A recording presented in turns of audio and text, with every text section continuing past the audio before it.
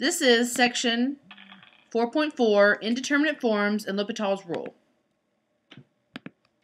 So, when evaluating limits in Chapter 2, we saw methods for evaluating limits that were indeterminate. So what I mean by that is we had the limits such as this, x squared minus 4 over x minus 2 as it approaches 2. When we plugged in 2, we got 0 over 0. If you remember, what we did in this case is we simplified the top or the bottom. In our case, we can simplify the top. So, what we get now is x plus 2 times x minus 2 over x minus 2. We can cross out the x minus 2's and we get x plus 2. And then we can plug in and we get 4. Now we're going to learn a new rule that we can use to find the limit of such functions when crossing out is not an option. This is called indeterminate forms. There are competing interests or rules and it's not clear which will win out. So if we go back to this example, on the top here, this is 0 and this is 0, so we're not sure if it's going this or this is going to be the appropriate answer because that is in an indeterminate form. So we typically think of a fraction that has a numerator of 0 being as being 0. But we also tend to think of fractions in which the denominator 0 is undefined. So there's another case. What about infinity divided by a negative infinity? We don't know if the real limit is infinity or negative infinity. And what I mean by win out is like there's a little battle between the two, and is the top the right one or is the bottom the right one? And we're going to go through these problems to figure out which one is the winner. So if the numerator of a fraction is going to infinity, we tend to think of the whole fraction going to infinity. But this case, the denominator is going to negative infinity, and, we, and when that's the case, we seem to think the fraction is going to zero. We could also view this negative infinity divided by negative infinity as a fraction in which the number and the denominator are the same, so we might get negative 1. With all these instances and all these problems, we're not really sure what the right answer would be. So in this case, we're going to have to take the derivative and find another possible, find out which of those possible answers is the fact, in fact, correct answer. So this is the problem. We don't know what's happening in the limit. So there are other types of indeterminate forms as well, such as these. 0 divided by 0, infinity divided by infinity, 1 raised to infinity, 0 raised to the 0 power, infinity raised to 0, infinity minus infinity, or 0 times infinity. Because all of these things, we really don't even know what is happening when we say this. Like infinity minus infinity, what in the world is that? We don't know. So we have to do something else to figure out what is going on in that limit.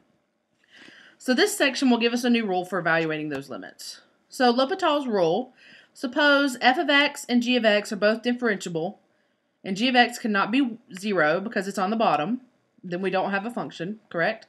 So on an open interval containing a, except possibly at a. So if f of x and g of x are as such, with f of x being the numerator and g of x being the denominator, produces the indeterminate form 0 over 0 or infinity over infinity at a, and the limit of the derivative then equals L, then we can say that the limit of f of x divided by g of x equals the limit of the derivative of f of x divided by the derivative of g of x equals our limit, and we'll find out which one wins out. So find the limit as x approaches 1 of ln x divided by x minus 1. Use L'Hopital's rule where appropriate. So first things first, we need to plug in 1. So when we plug in 1, we get 0 over 0. That's indeterminate. So we need to find something else. Next, we need to use L'Hopital's rule and take the derivative of the top and the bottom, and then we'll plug it back in. So if we take the derivative of the top and the bottom, we get 1 over x divided by 1, because we know the derivative of ln x is 1 over x, and right here, the 1 disappears, and we're left with the 1 that appears in front of this x. Therefore, the limit equals 1 divided by x, which is 1 divided by 1, which equals 1. So calculate limit e to the x divided by x squared as x approaches infinity. First, plug in. So if we look at this, e to the x, as x gets bigger and bigger and bigger, is going to approach infinity, and so is x squared. And we don't know what infinity divided by infinity is, so we're going to have to use L'Hopital's rule since we have something on top and on bottom. So now we're going to take the derivative. Uh-oh. When we take the derivative, we get infinity divided by infinity again. Now we continue L'Hopital's rule, which says just take another derivative. And we take the derivative again. Now when we take the derivative, we get the answer to be infinity. So we know that as the limit as x approaches infinity of e to the x over x squared, it is infinity after we've looked at both of the derivatives. So evaluate limit of x ln x as x approaches 0 from the positive side. First, like always, plug in. So as x approaches 0 from the positive side, we get 0. But then ln x approaches negative infinity. So what we really get is 0 times negative infinity. So we're saying that 0 times negative infinity is 0, which we know is not correct, and we don't really know what 0 times negative infinity is, so we're going to have to use the rule. But in this instance, it's x times ln x. We have to have something on top and bottom to use L'Hopital's rule. So in this case, we're going to rewrite the problem. So if we rewrite it, I can write the limit as x approaches 0 from the positive side of ln x divided by 1 over x. Because x times something is the same thing as 1 over x divided by something. Because when we divide these things out, it would be ln x times x over 1, which gets us back to the original function. Now we can use L'Hopital's rule to find the derivative of the top and the derivative of the bottom. So take the derivative. The derivative of the top is 1 over x. when we take the derivative of the bottom, we get negative 1 divided by x squared. Therefore, we get negative x, and as we plug in 0, we're going to get 0. So we've been able to find the derivative using L'Hopital's rule. Now, there's also indeterminate powers. So a limit of the form, limit as x approaches a, f of x raised to the g of x can lead to several indeterminate forms. As I'd also discussed before, and 0 raised to the 0, infinity raised to 0, and 1 raised to infinity. So to overcome this problem, first we take the natural log, or we write the limit as an exponential. So here's an example. Find the limit of limit find the limit of the limit of 1 plus sine 4x raised to cotangent of x as x approaches 0 from the positive side.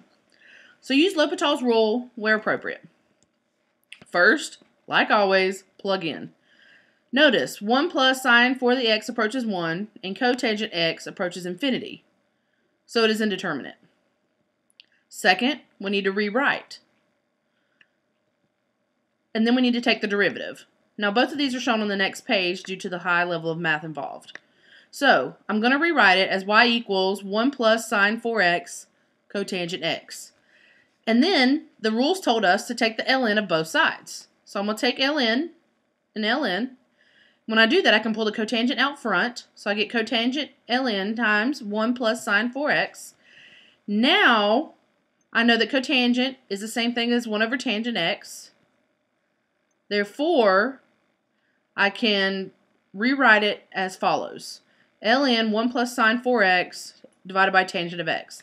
Now that I have something over something, now that I have a fraction, I can use L'Hopital's rule, take the derivative of the top and the derivative of the bottom, then plug in our variable, and we'll get our limit.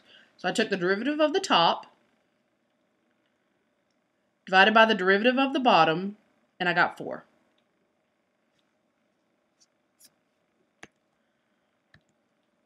So not all rational limits and trig limits similar to the previous problems will require the use of L'Hopital's rule. The following determinate forms lead directly to limits without any further manipulations. A number divided by 0, that always equals positive or negative infinity. 0 divided by a number equals 0. Infinity times infinity is infinity.